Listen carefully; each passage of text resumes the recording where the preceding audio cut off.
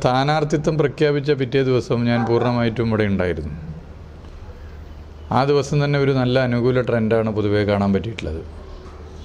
ഒരു സ്ഥാനാർത്ഥിയെ പ്രഖ്യാപിക്കുമ്പോൾ ആ സ്ഥാനാർത്ഥിയെക്കുറിച്ച് വലിയ സ്വീകാര്യതയും മതിപ്പും വോട്ടർമാരിലുണ്ട് എന്ന് എനിക്ക് ആദ്യ ദിവസം തന്നെ ബോധ്യപ്പെട്ടു. ജീവിതത്തിൽ ഇന്ന് വരെ എൽ ഡി എഫിന് പല തെറ്റിദ്ധാരണകൾ കാരണം വോട്ട് ചെയ്യാൻ മടിച്ചിരുന്നവർ ആദ്യമായി വോട്ട് ചെയ്യും എന്ന് പറയുന്ന സ്ഥിതി അന്നുണ്ടായിരുന്നു. വലിയ അനുകൂല സാഹചര്യമുണ്ട് എന്നുള്ളത് കൊണ്ട് തന്നെയാണ്. അന്ന് വന്ന അന്ന് എൽ ഡി എഫ് സെഞ്ചുറി അടിക്കും. അതൊരു സിംഗിൾ റൺ എടുത്തുകൊണ്ടായിരിക്കില്ല ഒരു സിക്സർ അടിച്ചുകൊണ്ടായിരിക്കുമെന്ന് പറയാൻ കാരണമായത്. അതിനുശേഷം ഒരാഴ്ച കഴിഞ്ഞ് വീണ്ടും മണ്ഡലത്തിൽ വന്ന ഘട്ടത്തിൽ അന്നുണ്ടായിരുന്ന ട്രെൻഡിന്റെ ഒരു പത്തരട്ടിയിലധികം അനുകൂല ട്രെൻഡായി ഇത് മാറി. ഒരു വലിയ ഓളം ഇവിടെ സൃഷ്ടിക്കപ്പെട്ടു. അതിന്റെ പ്രധാനമായും ഞാൻ കാണുന്ന കാരണം ഒന്ന് സർക്കാരിനോടുള്ള ജനങ്ങളുടെ വലിയ താല്പര്യമാണ്.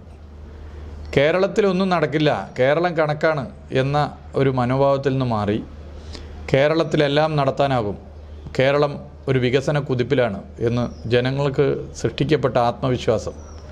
അത് രണ്ടായിരത്തി ഇരുപത്തൊന്നിലെ ഇടതുപക്ഷത്തിന്റെ ചരിത്രത്തിൽ ഇന്ന് വരെ ഇല്ലാത്ത തുടർഭരണത്തിന് കാരണമായതെങ്കിൽ ആ ട്രെൻഡ് ഇന്നും തുടരുന്നു എന്നുള്ളതാണ് ഇപ്പോൾ ഇവിടെ നിന്നും മനസ്സിലാക്കാൻ പറ്റുന്നത്. കേരളത്തിലാകെ ഉണ്ടായ വികസന കുതിപ്പ് തൃക്കാക്കരം പോലെയുള്ള മണ്ഡലങ്ങളിൽ കാണാൻ സാധിക്കുന്നില്ല. അത് യു ഡി എഫിന്റെ സമീപനം കാരണമാണ്. അപ്പോൾ കേരളത്തിലെ വികസന കുതിപ്പിൽ തൃക്കാക്കരയും ഒപ്പം നിൽക്കണം. ഇവിടെ ഒരു L D F M L A ഉണ്ടാകണം. ഒരു ഭരണകക്ഷി എം എൽ എ ഉണ്ടാകണം എന്ന് പൊതുവെ ജനങ്ങൾ ആഗ്രഹിക്കുന്നു. വികസനത്തിന്റെ മുരടിപ്പ് പലയിടങ്ങളിലും ഇവിടെ കാണാനുണ്ട്. ഇവിടെ ചില പ്രദേശങ്ങൾ നഗരഹൃദയമാണെങ്കിൽ കൂടി തുതിയൂര് പോലുള്ള പ്രദേശങ്ങളിൽ ജനങ്ങൾക്ക് യാത്രാ സൗകര്യം പോലുമില്ല ഒരു ബസ് സർവീസ് പോലുമില്ല ജനങ്ങൾ കിലോമീറ്ററുകളോളം ബുദ്ധിമുട്ടി പോകുന്നു ഇങ്ങനെയുള്ള ഇടം ഈ ഇടത്ത് വികസനം ഉണ്ടാകണം ഈ ഇടത്തിൽ വികസനം ഉണ്ടാകണമെങ്കിൽ എൽ ഡി എഫ് വിജയിക്കണം ഒരു ഭരണകക്ഷി എം എൽ എ ഉണ്ടാകണം. ഇനിയുള്ള നാല് വർഷക്കാലം കേരളത്തിൽ വികസന പെരുമഴ പതിവ് പോലെ എൽ ഡി എഫ് ഭരിച്ച ഘട്ടങ്ങളിൽ കണ്ടതുപോലെ ഉണ്ടാകുമ്പോൾ ആ പെരുമഴ തൃക്കാക്കരയിലും ഉണ്ടാകണം എന്ന് ജനം ആഗ്രഹിക്കുന്നു. പിന്നെ സ്ഥാനാർത്ഥി ഡോക്ടർ ജോ ജോസഫ്. എല്ലാവരും അംഗീകരിച്ച ഒരു സ്ഥാനാർത്ഥിയായി മാറി. ചടുലമായി ഇടപെടുന്ന ജനങ്ങളോട് പ്രതിബദ്ധതയുള്ള ഒരു ജനകീയ ഡോക്ടർ സ്ഥാനാർത്ഥിയായി വരുന്നു ഒരു യുവ സ്ഥാനാർത്ഥിയായി വരുമ്പോൾ ജനങ്ങളാകെ സ്വീകരിക്കുന്ന സ്ഥിതിയാണുള്ളത്.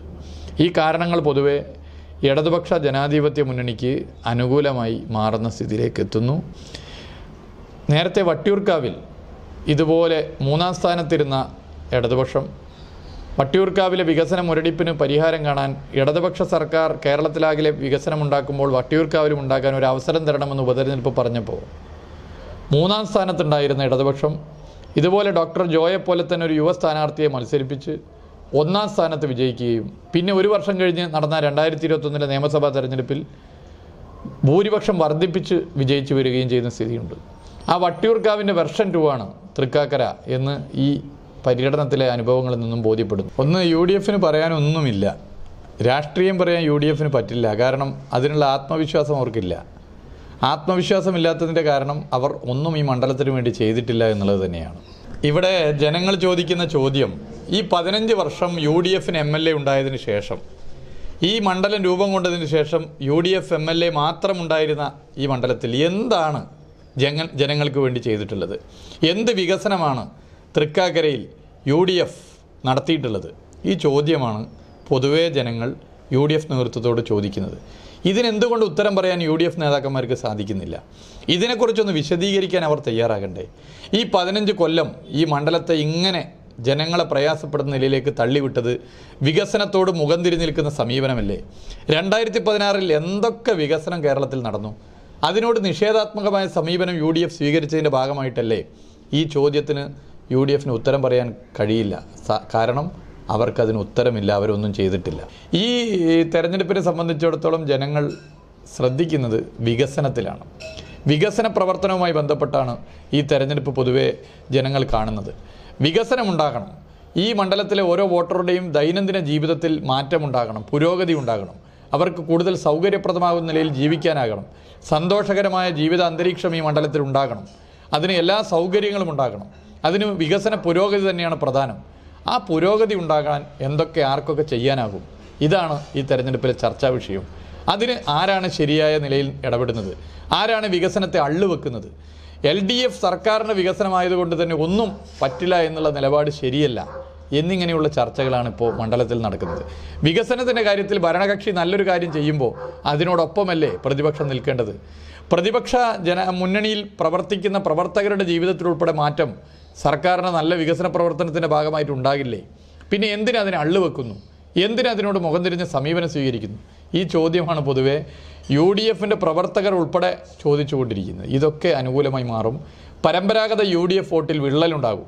യു ഡി എഫ് വോട്ടർമാരിൽ വലിയ നിലയിലേക്ക് എൽ ഡി എഫിന് അനുകൂലമായ സാഹചര്യം ഉണ്ടാകും. തൃക്കാക്കലയുടെ വികസന മുരടിപ്പിന് മാറ്റം വരുത്താൻ എപ്പോൾ വിളിച്ചാലും ഓടിയെത്തുന്ന ഒരു എം എൽ എ. ജനങ്ങൾക്ക് എപ്പോഴും കാണാൻ സാധിക്കുന്ന ജനങ്ങൾക്ക് എപ്പോഴും സ്വീകാര്യനായ ജനങ്ങൾക്ക് ഏത് സമയത്തും എപ്പോഴും എന്ത് പ്രശ്നങ്ങളും പോയി പറയാൻ സാധിക്കുന്ന ഒരു ജനകീയ ഡോക്ടർ ഓടിയെത്തുന്ന ചടുലമായി ഇടപെടുന്ന ഒരു യുവ സ്ഥാനാർത്ഥി. ആ നിലയിൽ ഡോക്ടർ ജോ ജോസഫിനെ തൃക്കാക്കര സ്വീകരിച്ചു കഴിഞ്ഞു എന്നുള്ളതാണ് ഈ ദിവസങ്ങളിലെ ഇവിടുത്തെ ജനങ്ങളുമായി സംവദിച്ചപ്പോൾ എനിക്ക് ഉണ്ടായ അനുഭവം. ജനങ്ങളുടെ ഓരോ സംസാരത്തിലും ഈ ഒരു അഭിപ്രായം പൊതുവെ കാണാൻ വേണ്ടി സാധിക്കുന്നുണ്ട്.